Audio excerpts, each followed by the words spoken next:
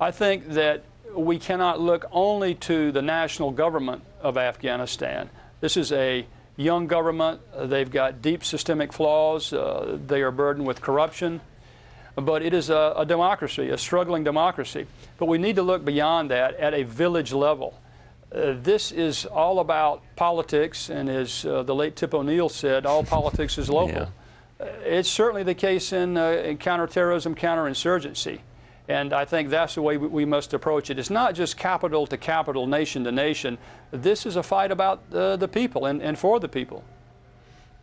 Turn, turn your attention to Al Qaeda and how they see the world and, and what is their, what is the, where do they get their momentum and where do they get their strength and where do they get their um,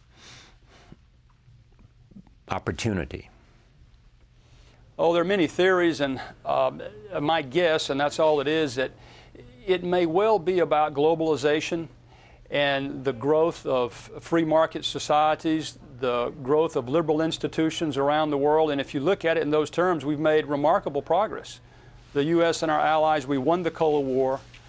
And I think that the change that's coming to the Middle East, coming to the world as a whole, is viewed by bin Laden and others as a threat.